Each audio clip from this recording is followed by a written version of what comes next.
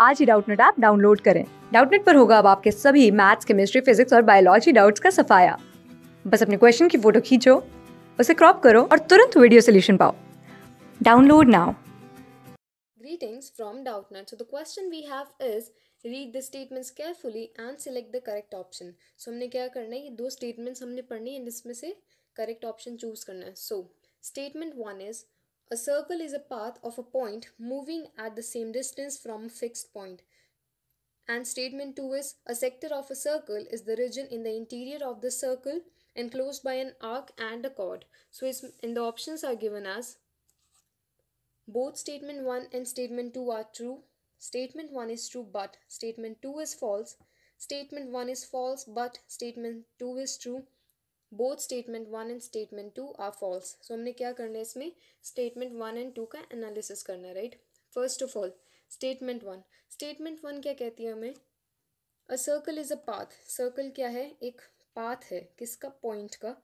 जो किस तरह से मूव करता है एक फिक्स्ड पॉइंट से सेम डायरेक्शन में मूव करता है राइट सो एक बार देख लेते हैं एक फिक्स्ड पॉइंट चाहिए हमें उसके लिए राइट ये पॉइंट हमें चेंज नहीं करना राइट ये हिलना नहीं चाहिए this is a fixed point और एक हमने पा, एक डिसाइड कर लिए डिस्टेंस ठीक है? अब ये पॉइंट क्या है? इस तरह से मूव करना चाहिए कि ये सेम डिस्टेंस पे रहेगा राइट इससे डिस्टेंस इसका चेंज नहीं होना चाहिए। यानी कि इधर जाए तो भी ये डिस्टेंस बराबर, थोड़ा सा इधर मूव करेगा तो भी डिस्टेंस बराबर मतलब बराबर डिस्टेंस पे ही मूव करता रहेगा राइट तो ये सर्कल ही बनाएगा right isn't it so further ये जो पाथ है ये क्या है? सर्कल है बट ये जो डिस्टेंस है ये क्या होता है? रेडियस ऑफ़ सर्कल होता है राइट सो फ़र्स्ट स्टेटमेंट क्या हो गई हमारी? ट्रू इसमें हम कह सकते हैं कि जो फ़र्स्ट स्टेटमेंट हमारे पास ट्रू है राइट सो so, अब सेकेंड स्टेटमेंट की बात करते हैं। सेकेंड स्टेटमेंट क्या कहती है? A sector of a circle is the region in the interior of the circle enclose by an arc and a code अब यहाँ बात होने वाली है किसकी? सेक्टर की।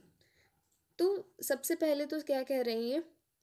एक हमारे पास कॉर्ड है और जो आर्क है राइट ये कॉर्ड है दिस इज़ द कॉर्ड ठीक है? एंड दिस इज़ द आग विच आई एम हाईलाइटिंग ठीक है?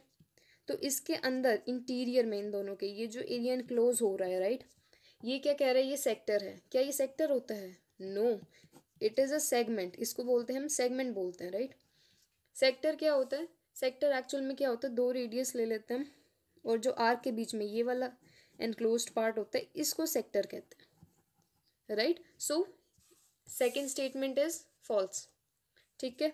तो अब क्या कह सकते हैं हम? स्टेटमेंट वन ट्रू है and statement two is false तो कौन सा option must be correct one is true and statement two is false B option is correct right so this is your answer so thank you and happy learning guys class six से twelfth से लेके NEET I I T JEE mains और advance के level तक। दस million से ज़्यादा students का भरोसा। आज ही डाउनलोड करें डाउट नेट ऐप या व्हाट्सएप कीजिए अपने डाउट्स आठ चार सौ चार सौ चार सौ पर।